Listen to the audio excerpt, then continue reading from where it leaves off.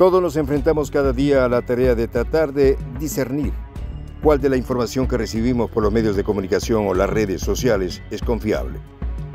Por lo general, hay fuentes a las que les concedemos credibilidad, considerando que son medios serios y la información que proporcionan verdadera. Pero siempre hay sospechas respecto a algunos temas y en especial a algunas instituciones. ¿Sería posible que la institución castrense del país más poderoso se ocupe de difundir falsedades en las redes sociales? Sí, sin duda, todos lo hemos pensado. Pero lo que parecía improbable es que admita sus mentiras. Realmente el Pentágono reconoce la difusión de noticias falsas. Los detalles a continuación.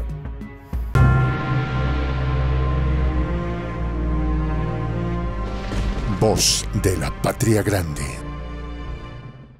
Por más increíble que pueda parecer, sucedió.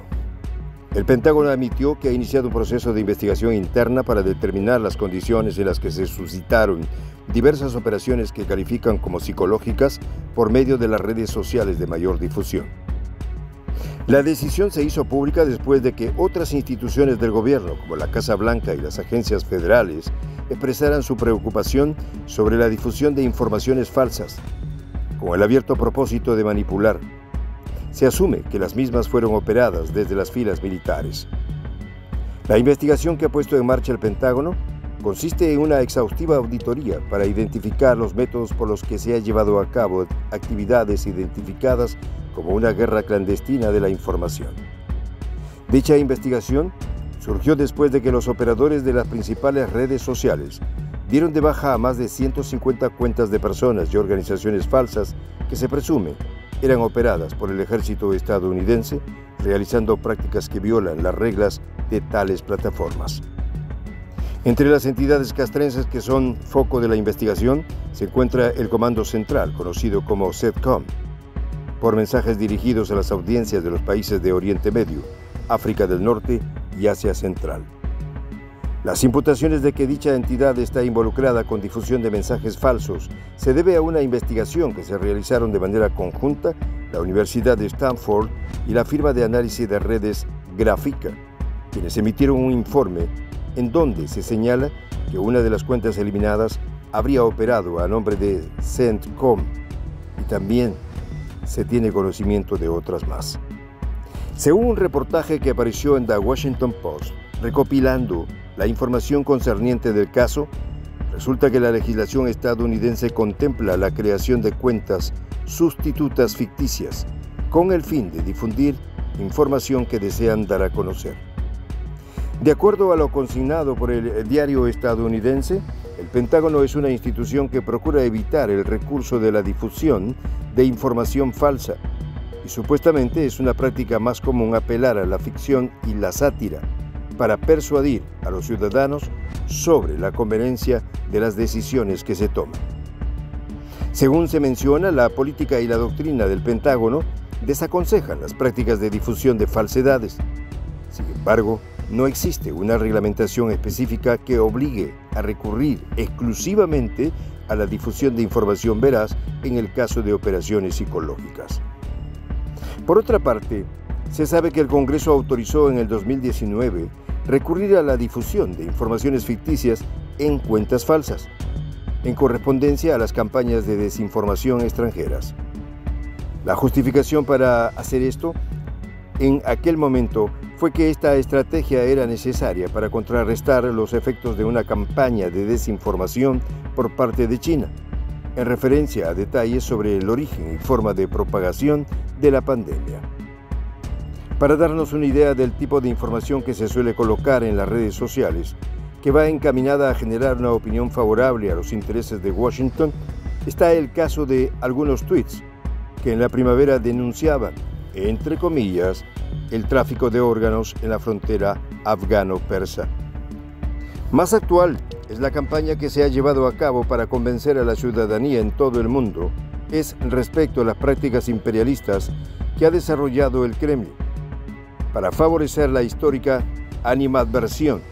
Podemos imaginarnos cuáles han sido las tácticas a las que se recurrió.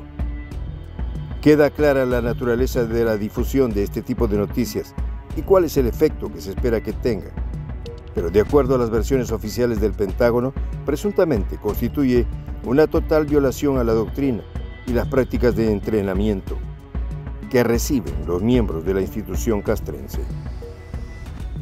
Aún es pronto para comprender cuál es el propósito de hacer el anuncio público de esta investigación. Pero según lo reportado por The Washington Post, funcionarios de una de las principales redes sociales se pusieron en contacto con el Pentágono para exponer sus preocupaciones. En el 2020, David Agranovich, director para la amenaza global del emporio de Mark Zuckerberg, buscó un acercamiento con el Departamento de Operaciones Especiales y Conflicto de Baja Intensidad del Pentágono, a cargo de Christopher Miller, para advertir que si los administradores de la red social podían detectar las campañas psicológicas del ejército, los adversarios también podían hacerlo. Aparentemente, con Trump, estos esfuerzos de advertencia no fructificaron pero todo parece indicar que ha habido una respuesta más activa con la actual viceconsejera de Seguridad Nacional de Biden para Asuntos Cibernéticos, Ann Nerenberg, a quien Agranovich advirtió sobre el retiro de cuentas falsas provenientes de los cuerpos militares por violar las normas del servicio. Por esta razón fue que la Casa Blanca, el Departamento de Estado, así como otros organismos como la CIA, ha manifestado sus temores respecto al uso inapropiado de este tipo de recurso.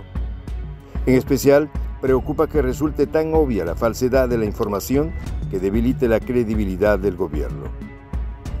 Fue por esta razón que Colin Kahl, subsecretario de Defensa, ha ordenado la investigación correspondiente. En un informe preliminar se propuso una vigilancia más estricta a las operaciones psicológicas del Pentágono y con una mayor coordinación con el Departamento de Estado y la CIA. No es nada nuevo el hecho de que el ejército haga uso de este tipo de recursos, identificados como operaciones psicológicas, con tal de promover la narrativa estadounidense que haga sentir a la gente que están justificadas las acciones que emprende. La popularidad de las redes sociales en Occidente ha llevado a la institución castrense a expandir sus tácticas de persuasión echando mano de recursos polémicos como el uso de personas e imágenes artificiales, por no decir falsas, conocida como deepfakes. Estas consisten en presentar como verdadero el testimonio de una presunta víctima, como podría ser una mujer afgana o un estudiante iraní, que comprensiblemente puede ser una imagen más persuasiva que si fuera un abierto discurso emitido directamente por el ejército. Al parecer, uno de los motivos de preocupación del Departamento de Estado, tanto de la CIA, es que el recurso de utilizar personajes falsos termina por convencer a la gente de que el gobierno es un creador de esfuerzos de base. Un concepto que se podría traducir como que crean ficticiamente el problema para ofrecer después la solución. Resulta bastante interesante cómo Washington está admitiendo abiertamente que este tipo de estrategias no ha tenido el efecto deseado, sino por el contrario, opera en contra de la credibilidad de todo el aparato gubernamental. La credibilidad es un elemento enormemente susceptible, que una vez perdido es muy difícil de recuperar. ¿Será que ahora sí, en verdad, dejarán de mentir? Soy el J Juan José del Castillo, director del canal Prensa Alternativa. Si quieres ser parte de la comunidad de la Patria Grande, suscríbete a nuestro canal. Si es que quieres que te lleguen las notificaciones cada vez que subimos un video, activa la campanita. Si quieres apoyar a nuestro canal económicamente, puedes hacerlo a través de PayPal. El enlace está en la descripción del video. A nombre del equipo de prensa alternativa, me despido con esta expresión en el quechua milenario, Tupananchis cuya traducción es hasta volvernos a encontrar.